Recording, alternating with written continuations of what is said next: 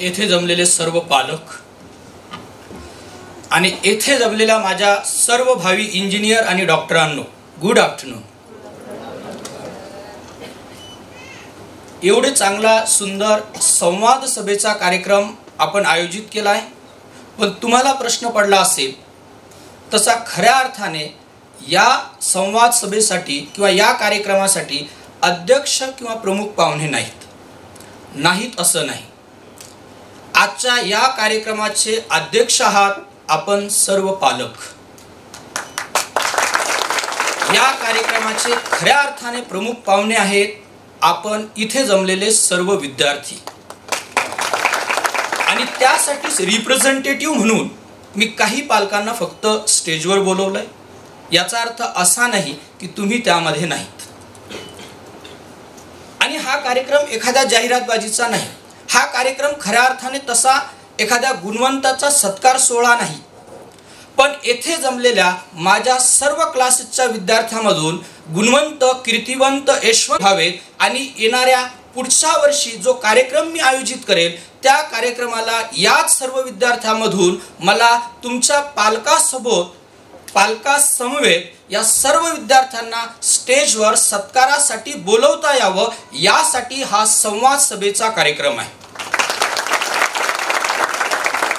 आणि मी सांगितलं विद्यार्थ्याच्या यशामध्ये सर्वात महत्त्वाच्या ह्या ज्या तीन व्यक्ती आहेत विद्यार्थी शिक्षक आणि पालक यांची भूमिका ही त्याचप्रमाणे इथे खूप महत्वाची आहे. याच्यामध्ये जर अडथळा आला तर मात्र विद्यार्थ्याला पाहिजे त्या प्रमाणात यश मिळत नाही. पण याच्यात थोडी अडचण असते. एक विस्तीर्ण पसरलेल्या घनदाट अशा जंगलामध्ये एक सुंदर सकाळ होत होती. सोनेरी किरणांनी पूर्ण आसमंत झळाळून निघाला होता आणि अशाच या सकाळी सोनेरी किरण अंगावर घेत एक सुस्त कोल्हा जांभया आणि आळस देत जागा झाला. त्याने अंग झटकलं आणि म्हणाला चला सकाळ झाली. आणि त्याचं लक्ष गेलं त्या भल्या मोठ्या आणि लांबच लांब पसरलेल्या त्याच्या सावलीकडे. आणि त्या भल्या मोठ्या लांबच लांब पडलेल्या सावलीकडे बघून त्या कोल्ह्याने ठरवलं अरे आता आपल्याला नाश्त्यासाठी कमीत कमी हत्ती मारावा लागेल. जेवणाचं नंतर बघू. त्याने पुन्हा अंग झटकलं आणि तो जंगलात निघाला शिकारीसाठी. समोर एक ससा होता. पण याला नाश्त्यासाठी हत्ती पाहिजे होता ना. सशाने काय होणार? पुढे चालत राहायला दिसला हरिण. हरिणीकडे दुर्लक्ष केलं. नंतर त्याला एक हत्ती दिसला. हत्ती दिसल्यानंतर हत्तीच्या लक्षात आलं कोल्हा आपल्यावर चाल करून येतोय. कोल्हा आपल्यावर चाल करून येतोय या लक्षात येताच हत्तीनं मोठा आवाज केला. तो किंकाळला. हा आवाज ऐकून हा कोल्हा लगेच झाडीत लपून बसला. पण हत्ती तर खायचा होता. मग परत त्याने थोडी हिंमत अंगी बांधली आणि तो परत त्या हत्तीवर चालून गेला. हत्तीने त्याला सोंडेत पकडलं आणि जोरात दूर फेकून दिलं. तो अर्धवेशुद्ध अवस्थेत झाला. त्याने हळूच डोळे उघडून बघितलं हत्ती कुठे हत्तीने कोल्ह्याकडे बघितलं हत्तीच्या लक्षात आलं आता कोल्हा काही उठणार नाही. तो तिथून निघून गेला. याने डोळे उघडले बघितलं हत्ती निघून गेलाय मग हा परत उभा राहिला. नाही म्हटलं आता हत्ती खायचाच आहे. निघाला कोल्हा जंगलात. परत हत्तीच्या शोधात. ऊन वाढत होतं पण आता त्याला ससा दिसला नाही हरिण दिसलं नाही. कोल्हा आता ऊन वाढत होतं त्याला खूप तहान लागली त्याचा घसा सुकला आता त्याला खूप भूक लागली होती. आता तो हैराण झाला आता तो केविलवाना झाला. आणि असं फिरता फिरता जंगलातल्या भर एका भर उन्हात मोकळ्या जागेत तो येऊन थांबला आणि परत त्या कोल्ह्याचं लक्ष त्याच्या सावलीकडे गेलं. आता तीच सावली त्याच्या चार पायामध्ये आली होती. आणि त्या छोट्याशा सावलीकडे बघून आता कोल्हा म्हणाला अरे आपलं जेवण तर एका उंदरावर झालं असतं. विनाकारण हत्ती शोधण्यात वेळ घालवला. म्हणजे होतं असं की दहावी पर्यंत विद्यार्थी दहावीत येईपर्यंत पालकांना माहीतच नसतं की आपला विद्यार्थी नेमका कोणत्या वर्गात आहे. दहावीत आल्यानंतर अचानक त्यांचं पुत्रप्रेम जागं होतं त्यांना अभ्यासाची काळजी वाटायला लागते चांगलं ट्युशन शोधलं जातं चांगला क्लास शोधला जातो चांगल्या शिक्षकाची विचारपूस होते. प्रयत्न सेंटरपर्यंत असतात. आता तुमच्या लक्षात आलं असेल नीट घोटाळ्यामुळं सेंटरपेक्षा वर असतात सकाळी दहावीचं मी सांगितलं दहावीचं वर्ष असतं खूप अभ्यासाची काळजी वाटते. सकाळीच त्याला उठवलं जातं. मुलगा म्हणतो नाही बाबा मी रात्री अभ्यास केलाय. हे म्हणतात नाही नाही सकाळीच अभ्यास करायचा. सकाळचा अभ्यास चांगला असतो. सकाळचा अभ्यास खूप लक्षात राहतो. बघ बरं सकाळचा शपथविधी अजून कोणी विसरलं नाही. दहावीमध्ये असतात मुलाचा रिझल्ट लागल्यानंतर पंच्याऐंशी टक्के नव्वद टक्के अठ्ठ्याण्णव टक्के आणि तरी पालक म्हणतात त्याला दोन टक्के कमीच पडले बरं का? मग दहावीच्या मार्कांची सावली बघून हा कोल्हा म्हणतो नाही मला आय आय टीच करायचं. मुलगी म्हणते नाही नाही मी एम बी बी एसच करणार. मग परत इलेवन ट्वेल्थच्या क्लासेसची सुरुवात होते. क्लासेस शोधल्या जातात मग जाहिरातबाजीला पालकांनाही माहीत नसतं मुलांनाही माहीत नसतं. मग जाहिरातबाजीच्या बळावर कोणता तरी क्लास निवडला जातो. पालक आणि मुलं इतकी त्यावेळेस त्यांच्या डोक्यात हवा शिरलेली असते की ते कुणाचंच ऐकायला तयार होत नाही. शिक्षकांचे ऐकत नाही शिक्षकांनाही गिनत नाही. मग हळूहळू अभ्यासक्रम सुरू होतो. मग बायोलॉजी येतं मग केमिस्ट्री येतं मॅथ्स येतं मग फिजिक्स येतं. आणि मग कोल्ह्याला कळायला लागतं. नीट काही एवढी सरळ नाही. मग दहावीच्या गुणांची ती भली मोठी सावली बघून एमबीबीएस किंवा आय आय टी ची तयारी करण्याची हिंमत असणारा हा तरुण तो सगळा अभ्यासक्रम सुरू झाल्यानंतर फार्मसी करायला तयार होतो. मुलगी म्हणते माझी जी मम्मी आहे ना त्या मम्मीची आमकीची टमकी ना तिचा मुलगा डॉक्टर आहे त्यांनी सांगितलं आमच्या शेजारी मेडिकल खूप चांगलं चालेल. म्हणून मला फार्मसी करायची. मुलगा म्हणतो नाही नाही. आपल्याला आई वडिलाला सोडून राहायचंच नाही आणि पप्पा म्हणता आपण इकडंच राहू. म्हणून मला फॉरेनला जायचं नाही म्हणून मला आय आय टी नाही करायचं. मी सी ई टीच करणार आहे. मी सांगितलं त्यावेळेस ते पालक शिक्षकांचंही ऐकण्यात तयारीत नसतात शिक्षकांना अनुभव असतो. शिक्षकांना त्या क्षेत्रातली माहिती असते. त्याचं ज्ञान असतं. मी माझा स्वतंत्र क्लास सुरू करण्या अगोदर बारा वर्ष दुसरीकडे शिकवले. चांगले विद्यार्थी बघितले वाईट विद्यार्थी बघितले मेडिकलला सिलेक्ट झाले होणारे बघितले इंजिनिअरिंगला सिलेक्ट होणारे बघितले वाईटातले वाईट पोरं बघितले यशस्वी बघितले अपयशस्वी बघितले त्या सगळ्यांचा अभ्यास केला. डी एड बी एड सारख्या कोर्सेसला एक बालमानसशास्त्र हा एक विषय असतो. ह्या विषयाचा मी अभ्यास केला. चांगल्या पालकांचा अभ्यास केला. त्यांच्या स्वभावाचा अभ्यास केला. वाईट पालकांचा स्वभावाचा अभ्यास केला. ते म्हणतात ना जर आपल्याला गायक बनायचं असेल आपल्याला जर तानसेन बघायचं असेल तर पहिले कानसेन व्हावं लागतं म्हणजे चांगलं ऐकावं लागतं चांगलं श्रवण करावं लागतं तसं चित्रकाराला डोळा पाहिजे. डोळा म्हणजे नजर पाहिजे. नजर म्हणजे दृष्टी पाहिजे. तसं शिक्षकाला कान आणि डोळे दोन्ही दोन दोन पाहिजे. म्हणजे त्याला नजर पाहिजे त्याला दृष्टी पाहिजे त्याला दृष्टिकोन पाहिजे त्याने श्रवण केलं पाहिजे त्याने वाचन केलं पाहिजे. हे सगळ्या गोष्टी मी बारा वर्ष बारा वर्ष म्हणजे तप. तप म्हणजे साधना आणि साधना म्हणजे तपश्चर्या केली आणि त्यानंतर मी स्वतंत्र क्लास काढला. हा स्वतंत्र क्लास काढला योगायोगाने काढला. हा स्वतंत्र क्लास योगायोगाने निघाला इच्छा नसताना निघाला. कदाचित त्याची इच्छा असेल. मी क्लास काढावा मग स्वतंत्र क्लास सुरू केला पहिल्या वर्षी एक पहिल्या वर्षी पहिल्या दिवशी एक मुलं दोन मुलं. तिसऱ्या दिवशी तीन मुलं. चौथ्या दिवशी तीनच मुलं. त्याच्यातलं एक गायब झाला होता. मग लेक्चर संपलं. आता कसं होतं त्यावेळेस मी सगळी कामे मिस करायचो. कारण त्यावेळेस खूप आर्थिक अडचण होती. आणि संकट अशी असतात की ती सर्व बाजूने एकदाच येतात. आणि संकटाचा सामना फक्त तुम्हाला स्वतःच करावा लागतो. कुणी मदतीला येईल याची गॅरंटी नसते. मग लेक्चर संपलं मी फोन केला. फोन केला. मला त्या विद्यार्थ्याचं नाव अजून आठवतं प्रशांत घोगरे. त्याला फोन केल्यानंतर विचारलं तू का आला आणि काही अडचण आहे का? तो म्हणाला सर माझा एम बी बी एसला नंबर लागला. म्हटलं वा वा छान. मग कमीत कमी पेढे तरी घेऊन ये. म्हणे हो नक्की फोन ठेवला. लगेच क्लिक झालं.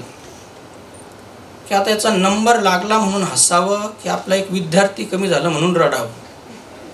कारण ऑलरेडीच विद्यार्थी कमी होते. पण नेक्स्ट डेला आठ झाले. पंधरा झाले. पंचवीस झाले. पहिल्या दिवशी एक दुसऱ्या दिवशी दोन तिसऱ्या दिवशी तीन नंतर आठ नंतर पंधरा वीस पन्नास शंभर नंतर दोनशे. ते म्हणतात ना लोक आते गए वैसे स्टुडंट्स आते गए और क्लास बढ़ता गया. मग म्हटलं आपली जबाबदारी. पालक आणि जर विद्यार्थी आपल्यावर विश्वास ठेवताय आणि लक्षात ठेवा ह्या आता जे बऱ्याच इथं पालकांनी भाषण केलं त्याच्यापैकी बरेच माझे विद्यार्थी दिनेश सर आहे किंवा जे अँकरिंग करतात गजानन सर आहे. लक्षात ठेवा. मित्रापेक्षा दुसऱ्याला आपलं काय कधीच जास्त माहिती नसतं. मित्र एवढं आपलं कुणालाच माहीत नसतं. आणि मित्रांची मुलं माझ्याकडे याबद्दल मी त्यांचे धन्यवाद मानतो की त्यांनी एवढा मोठा माझ्यावर विश्वास मग मी ठरवलं की ह्या पालकांचा विश्वास आहे या मुलांचा विश्वास आहे म्हणजे काहीतरी केलं पाहिजे. फक्त हे रुटीन चालू आहे हे अभ्यासक्रम चालू आहे शिकवणं सुरू आहे. नाही म्हटलं एकशे ऐंशी पैकी एकशे ऐंशी आणायचा. पहिल्या वर्षी प्रयत्न केले. एकशे छप्पन होते एकशे ऐंशी पैकी. आठ दहा वर्षापूर्वी हा स्कोर खूप मोठा होता. औरंगाबादमधून फर्स्ट होता. पण म्हटलं अजून आपलं टार्गेट अचीव झालेलं नाही. अजून एक दोन वर्ष गेले. आणखी एक रिझल्ट आला एकशे ऐंशी पैकी एकशे बासष्ट परत दुसऱ्या वर्षी परत असं करत करत एक एकशे पासष्ट आला. मागच्या वर्षी वेदांत पानखडे नावाचा विद्यार्थी एकशे ऐंशी पैकी एकशे एकाहत्तर म्हणलं तरी पण आपलं जे स्वप्न आहे ते अजून साकार झालेलं नाही. मागच्या वर्षीचा रिझल्ट आला. विनायक हिवाळे एकशे बासष्ट. सत्यविजय शिंदे एकशे पासष्ट. हनुमानदास एकशे पंच्याहत्तर. आणि संजय राजपूत एकशे ऐंशी पैकी एकशे ऐंशी. विद्यार्थी मित्रांनो आणि मी प्रत्येक पालकांना विद्यार्थ्यांना सांगत असतो तुमचं गोल लिहून ठेवा. Write down your goal write नाव कारण हे ध्येय हेच खूप महत्वाचं आहे. दोन वर्षापूर्वीची माझी नोट्स बघा. त्या नोट्सवर मागे छापलेलं आहे. Next target one eighty out of one eighty ध्येय का लिहायचंय? ध्येय लिहा. लिहायला लाजू नका. ध्येय कुठे लिहू शकता? तुमच्या नोटबुकवर लिहा डायरीवर लिहा तुमच्या स्टडी रूममध्ये भिंतीवर लिहा. तुमच्या मनात त्याला कोरून टाका. ते विसरलं नाही पाहिजे आणि त्याने तुम्हाला विसरू दिलं नाही पाहिजे. स्वामी विवेकानंदाने यशाचा एक मार्ग सांगितलेला आहे. मराठीत ट्रान्सलेट करून सांगतो स्वामी विवेकानंदाने यशाचा मार्ग सांगितला एखादी आयडिया घ्या एखादी कल्पना घ्या एखादी संकल्पना घ्या एखादं स्वप्न घ्या एखाद्या ध्येय घ्या ह्या ध्येयाला आपलं जीवन बनवा त्याचीच स्वप्न बघा त्याच्यावरच जगा त्याचाच विचार करा. तुमचा मेंदू तुमचं रक्त तुमचा मज्जातंतू तुमचे स्नायू तुमच्या शरीराचा प्रत्येक अणुरेणू ह्या ध्येयाने भारावून जाऊ द्या. बाकीचे सगळे विचार काढून टाका. हाच यशस्वी होण्याचा एकमेव मार्ग आहे. कारण याच मार्गाने अनेक महान लोक यशस्वी झालेत. स्वामी विवेकानंदाचं वाक्य आहे. आणि मी सांगितलं ह्या सगळ्यामध्ये यश मिळू शकतं. जे मी सांगितलं ना ध्येय ध्येय लिहून ठेवा. लिहा. Write down your goal in your favourite colour and add pictures to writing goal is good but writing goal in your favorite color and with picture is more effective. तुमचं ध्येय लिहून ठेवा. And do not set a low or ordinary goal ordinary goal do not motivate you लहान ध्येय ठरवू नका. लहान ध्येयामध्ये तुमचं रक्त सळसळण्याची ताकद नसते. आणि गोल खूप डिफिकल्ट ही नको. But your goal should be specific and clear काय बनायचंय? डॉक्टर जनरल झालं. एम बी बी एस बनायचं बी एम एस बनायचं बी एच एम एस बनायचं बी डी एस बनायचं आज ठरवा. पुढे जाऊन त्याचं स्पेशलायझेशन गायनाकोलॉजिस्ट बनायचं डर्मॅटॉलॉजिस्ट बनायचं. मी असंच एकदा विद्यार्थ्यांना वर्गात विचारलं काय बनायचं? एकाने सांगितलं डर्मॅटॉलॉजिस्ट म्हणजे स्किन स्पेशालिस्ट स्किन स्पेशालिस्ट का? म्हणजे स्किनवाले जे स्किन डिसीजचे जे पेशंट असतात त्यांना एकदम घाईच नसते काही. जे पेशंटला काही अर्जंट नसतं म्हणे. आणि लवकर बरं झालं असं पण नसतं म्हणे. आणि तोच पेशंट आपल्याला वारंवार भेटत असतो म्हणजे कमी पेशंटमध्ये पण भागतं. आणि तो पेशंट कधीच मरत नाही म्हणे स्किन डिसीज वा. आणि मी सांगितलं ह्या विद्यार्थ्याच्या यशामध्ये पालकाची भूमिका खूप महत्वाची एक मुलगा शाळेतून आला शाळेतून आल्याबरोबर आपल्या आईला म्हणाला आई मी आज खूप अभ्यास केलाय. ह्या महिन्यात मी खूप अभ्यास केला ह्या टेस्टमध्ये मी फर्स्ट रँक मिळवला. आणि फर्स्ट रँक मिळवला मला बघ बक्षीस भेटलं मला बघ ट्रॉफी भेटली. आई आता तरी मी तुला आवडतोस ना? आईचे डोळे खाडकन उघडले. आईने सांगितलं बाळा तू ट्रॉफी आणली म्हणून मला आवडतोस असं नाही. तू माझा आहेस म्हणून मला आवडतोस. पण ना इलाजाने काय आपण वस्तूवरचं प्रेम वाढवत चाललोय. मुलांच्या वस्तूवरचं प्रेम वाढवत चाललोय. फर्स्ट रँक आला तुला ही गोष्ट देईल. तू चांगला अभ्यास केला मी तुला चॉकलेट देईन तू असं केलं ही वस्तू तसं केलं ती वस्तू आणि न कळत आपण ही वस्तूवर प्रेम करायला लागलोय. नात्यांवर कमी आपल्या लोकांवर कमी आपण नातेच समजून घेत नाहीये. आणि म्हणून आपलं प्रेम वस्तूवरचं वाढत चाललंय. माझा एक मित्र म्हणाला की तुम्ही सगळ्यांनी बाकीच्या सगळ्या मित्रांनी फोर व्हीलर घेतली आता मी पण फोर व्हीलर घेणार आहे. म्हटलं चांगली गोष्ट आहे आनंदाची गोष्ट आहे. नाही म्हणे मी घेणारच आहे तुम्हाला वाटतं मी असं आहे मी तसं आहे पण मी घेणारच. म्हटलं चांगली गोष्ट आहे. त्याने एक काही दिवसांनी फोन केला की मी एक खूप चांगली शोरूममधून गाडी काढली आहे. आणि तुला बघायला यावंच लागतं. म्हणलं येईल वेळ भेटल्यानंतर. नाही म्हणलं आत्ताच ये. म्हणलं येईल तरी पण त्यांनी काही दिवसांनी एक दिवस मला गाठलं संध्याकाळी आला. म्हणे मी तसंच आलो तुझ्याच गाडीत जाणार आहोत आपण. आणि माझी गाडी बघणार आहोत. मग आम्ही निघालो माझ्या गाडीमध्ये त्याच्या घराकडे. घर अगोदर बघितलं होतं. घर जसं जवळ आलं तेव्हा लक्षात आलं की त्याने त्याच्या घरासमोर त्या कारचं ऊन पावसा पाण्यापासून संरक्षण होण्यासाठी एक शेड तयार केलं होतं सुंदरसं. घरासमोरच घरासमोरची थोडी जागा ती ऑक्युपाय केलेली होती आणि तिथं ते तयार केलेलं होतं की जेणेकरून गाडीला काही त्रास होऊ नये. त्याच्यावर एक चांगल्या क्वालिटीचं कव्हर होतं. पण जसं जसं आम्ही जवळ गे जात गेलो तेव्हा लक्षात आलं. आणि तो एक असावी झाला. मी गाडी थांबवतोच आहे की तो गाडीतून खाली उतरला. त्याच्या गाडीवर जे आहे ते कवर थोडंसं बाजूला करून त्याचीच मुलगी काहीतरी ओरखडत होते. याचा राग अनावर झाला तो गाडीतून बाहेर आला मुलीकडे गेला मुलीकडे गेल्याबरोबर त्याने तिचा हात धरला हात धरला तिला खाली ओढलं बाजूला केलं बाजूला केल्याबरोबर मुलगी रडायला लागली जोर जोरात रडायला लागली आवाज ऐकून घरातून त्याची बायको आई बाहेर आली त्या मुलीला समजवण्याचा प्रयत्न करायला लागली हा पण थोडा बिसकला त्या मुलीकडे गेला तिला समजवण्याचा प्रयत्न करायला लागला पण मुलगी काही शांत होईना. थोड्या वेळानं लक्षात आला तिचा खांद्यामधून जो हात ते थोडा निखळला होता. तसंच आम्ही तिला गाडीत बसवलं गाडीतून हॉस्पिटलमध्ये नेला डॉक्टरांनी ती जो काही प्रथम उपचार केला प्लास्टर केला नंतर परत येताना संध्याकाळची वेळ होती नंतर परत येताना आम्ही गाडीत येतो. त्यावेळेस मी त्याला विचारलं अरे काय झालं होतं? असं का केलंस तू? कारण ह्या गोष्टीकडे त्याचं जास्त लक्ष होतं. आपल्याला काय? आपली गाडी नव्हतीच. मग त्याने सांगितलं की ती मुलगी काहीतरी ओरखडत होते स्क्रॅचेस पाडत होते गाडी नवीन आहे शोरूम आहे. खूप कमी दिवस झाले. मी एवढी काळजी घेतो दररोज धुतो तिची. म्हटलं काय करत होती नेमकी? म्हटलं काय माहीत. म्हटलं चल तर जाऊन तर बघू. संध्याकाळ होती तिथं अंधार होता लाइट लावला ते कवर त्याच्यावर येऊन पडलेलं होतं ते थोडं बाजूला सारलं आणि ते त्याच्याच मुलीने जे ओरखडलेलं होतं ते ओरखडलेलं नव्हतं तिथं काहीतरी लिहिलेलं होतं. आणि त्या मुलीने तिथे लिहिलेलं होतं आय लव्ह यू पप्पा.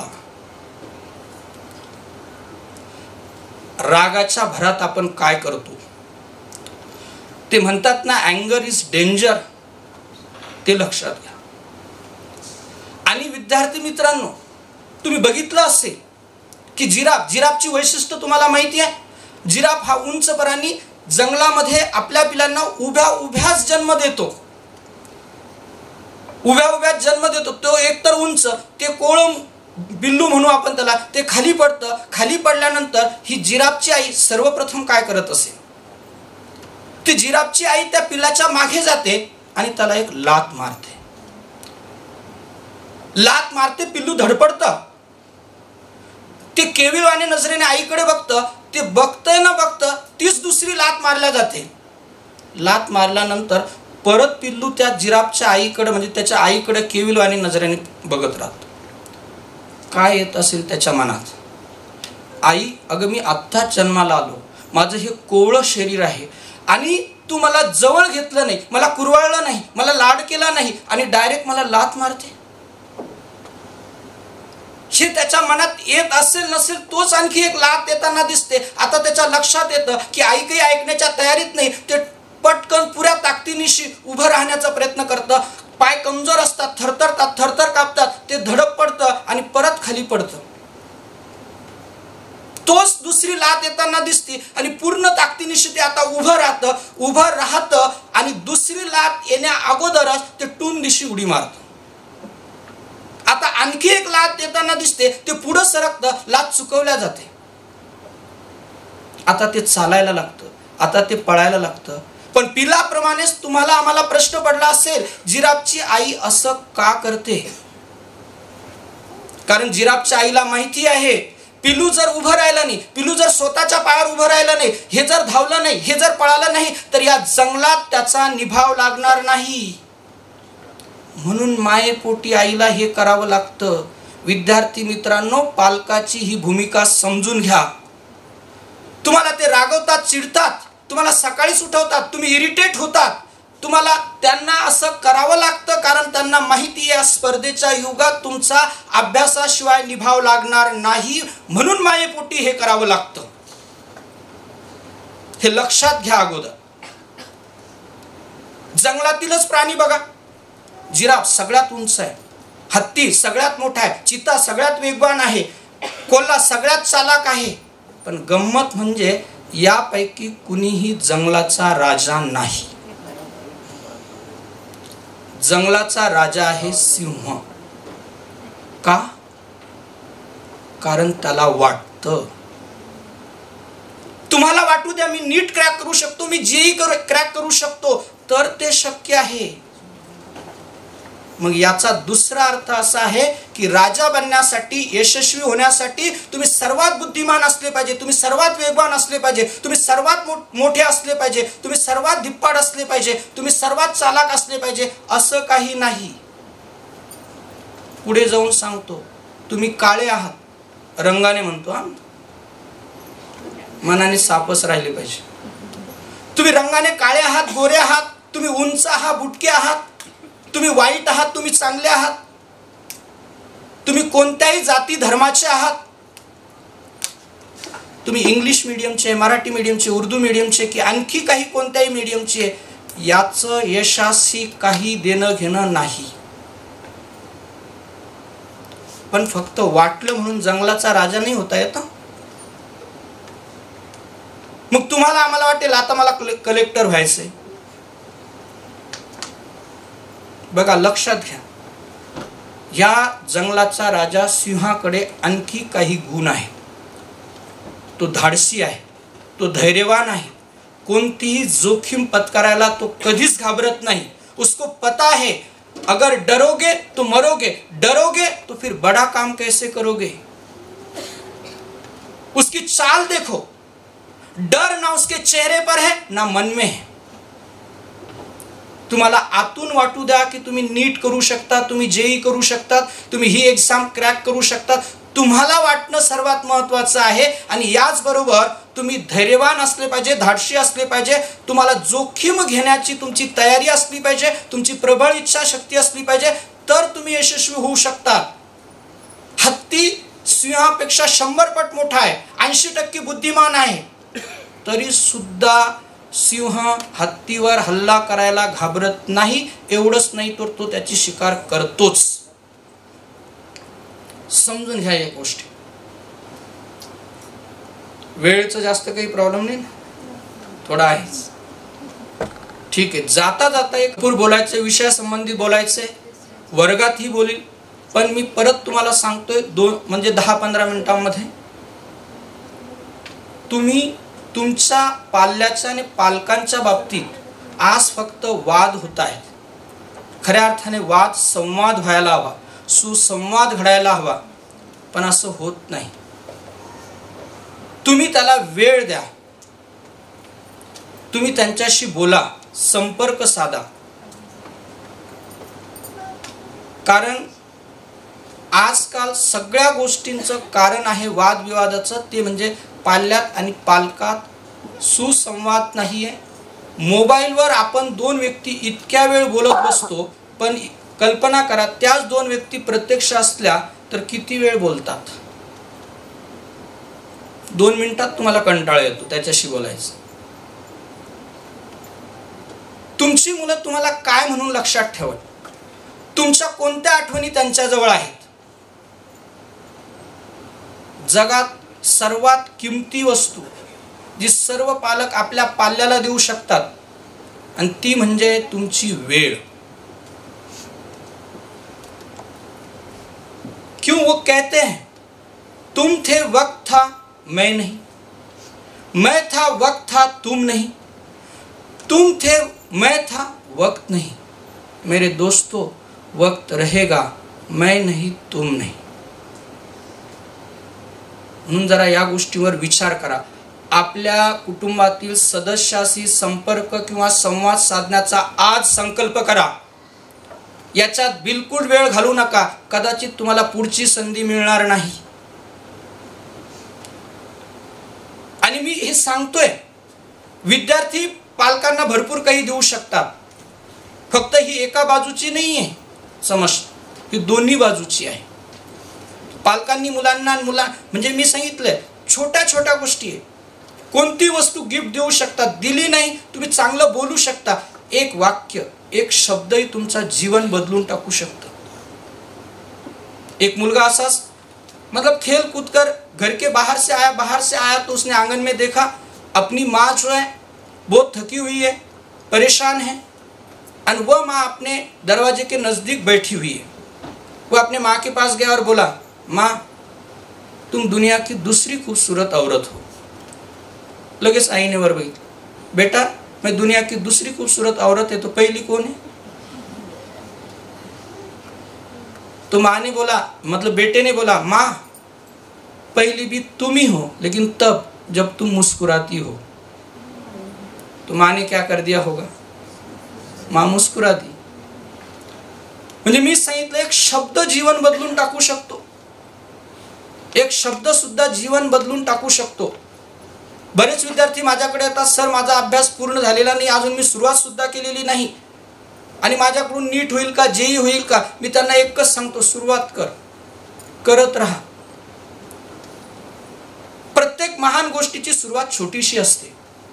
प्रत्येक मोठमोठ्या गोष्टीचा उगम छोटाच असतो. नदी असते नदी नदीचा उगम पहा जिथून सुरुवात होते किती छोटी असते. तिचा ओहळ होतो ओहळचा नाला होतो नालाचा ओढा होतो ओढाचं रूपांतर मोठ्या धबधब्यात होतं. जो धबधबा ऊर्जावान असतो ताकदवान असतो आणि पुढे जाऊन ह्या नदीची महानदी होती महानदीचा समुद्र होतो.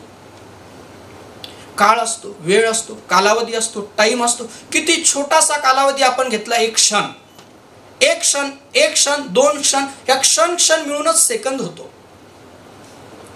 क्षणाचा सेकंद होतो सेकंदाचा मिनिट होतो मिनिटाचा तास होतो तासाचा दिवस होतो दिवसाचा आठवडा होतो आठवड्याचा महिना होतो महिन्याचं वर्ष होतं वर्षाचं तप होतं तपाचं युग होतं आणि क्षणापासून काळ युगापर्यंत वाढत जातो. असू द्या सुरुवात छोटीशी.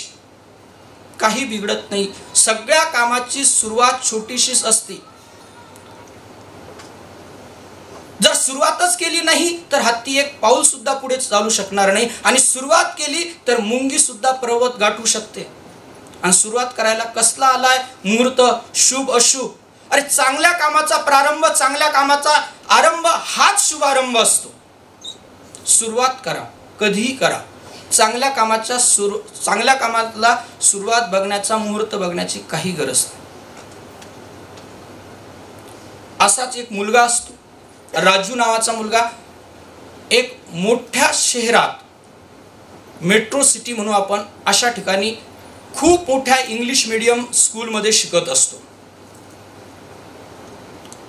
त्या शहरात त्याला राहण्यासाठी एक बंगलो त्याच्यात एक दोन सर्वंट्स म्हणजे नोकर अशी व्यवस्था केलेली असते आणि या सगळा खर्च त्याचे बाबा करत असतात. मात्र बाबा गावाकडे राहत असतात. शाळा संपते शाळा सुटते त्यावेळेस सगळ्या विद्यार्थ्यांचे पॅरेंट्स मॉम डॅड्स त्यांना घ्यायला येतात. कारण ती खूप मोठी इंग्लिश मिडियम स्कूल असते. श्रीमंत लोकांची मुलं फक्त त्या शाळेत शिकत असतात. पण मात्र राजूचे पॅरेंट्स त्याला काही घ्यायला येत स्कूलमध्ये वेगवेगळे इव्हेंट्स होतात प्रोग्राम्स होतात फंक्शन्स होतात. त्यावेळेस सगळे पॅरेंट्स इतर मुलांचे मोठमोठ्या फोर व्हीलर्समध्ये कोणी बी एम डब्ल्यूमध्ये कोणी मर्सिडीजमध्ये कोणी आणखी कोणत्या फोर व्हीलर्समध्ये येत असतात? मात्र फक्त राजूचे पॅरेंट्स येत नसतात. आणि हा राजू त्यावेळेस थोडेसे मोबाईल्स नव्हते पण एक फोन असायचा.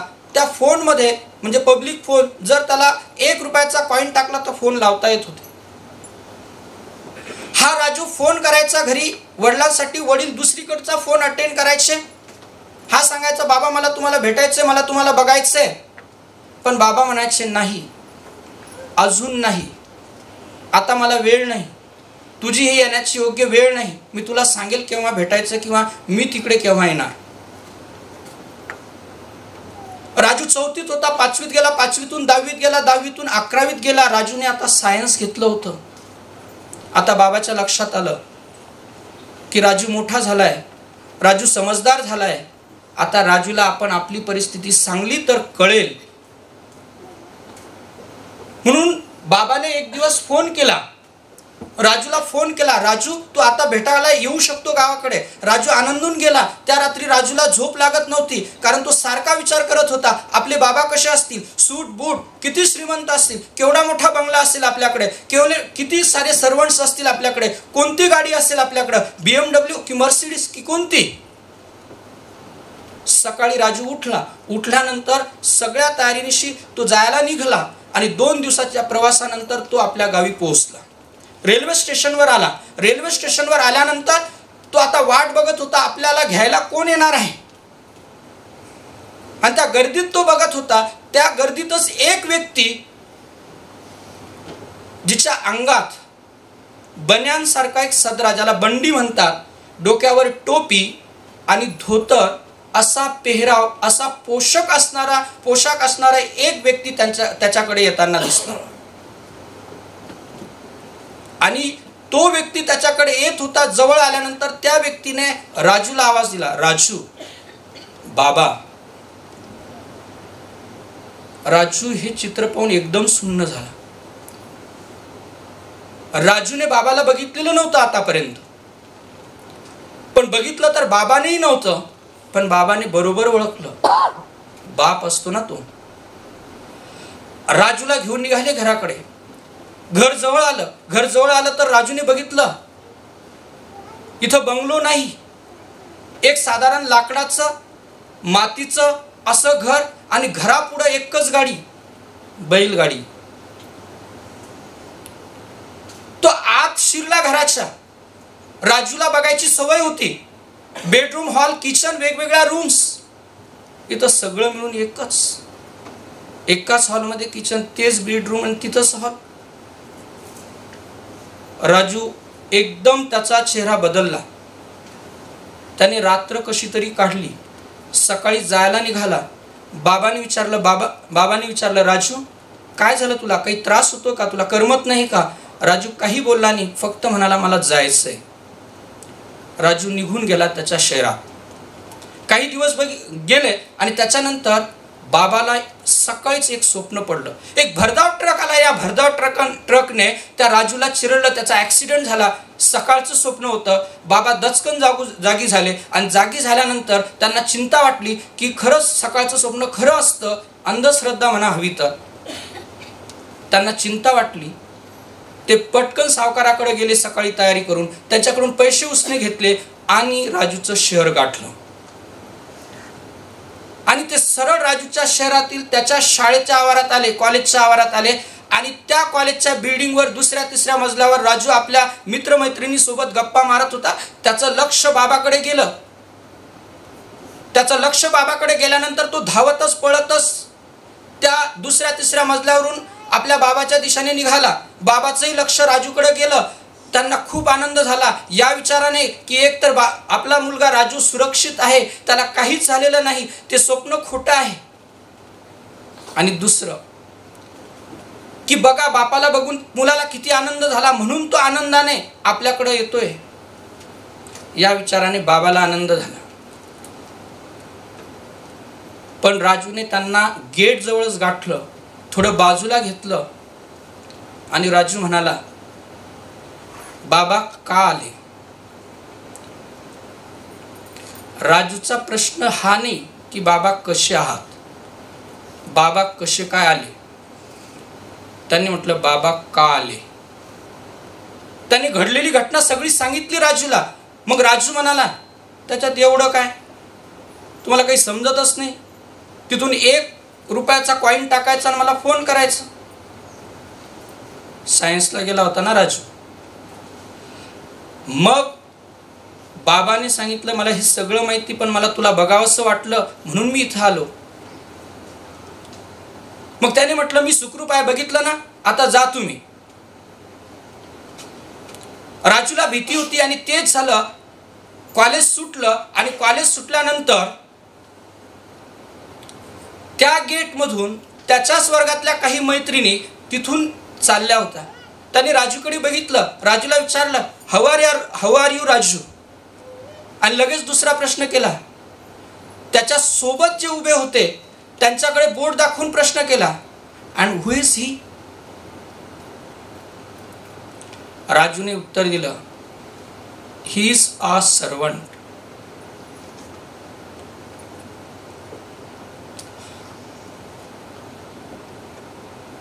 त्या बाबाच्या डोळ्यात घळघळ घळ घळ अश्रू आले.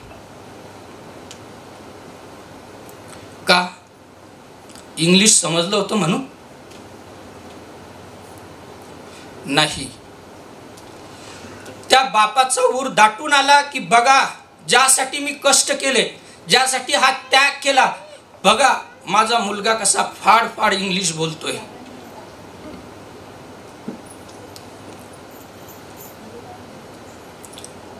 विद्यार्थी मित्रांनो पालकांनो असे पालक असे बाबा घराघरात आहे प्रत्येक घरात आहे. फक्त असा राजू मात्र कोणत्याही घरात जन्माला येऊ नये एवढीच सदिच्छा बाळगतो. धन्यवाद.